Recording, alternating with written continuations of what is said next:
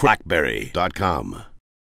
Hey everybody, it's Kevin for Crackberry.com here with the BlackBerry Playbook right now.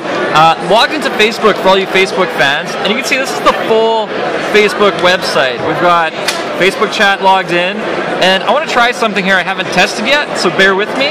But I want to try to like share a photo. I'm not sure what'll happen, so I'm gonna, you know, give her a little zoom in.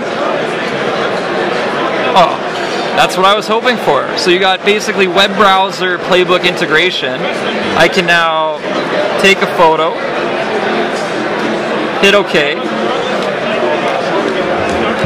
say something like, haha, and, oh, let's share them. And I'm going to get a bunch of people wondering what the heck I'm doing. But we're basically using the web browser on the playbook to share a photo that was taken on the playbook's camera. Very easily, right through the website.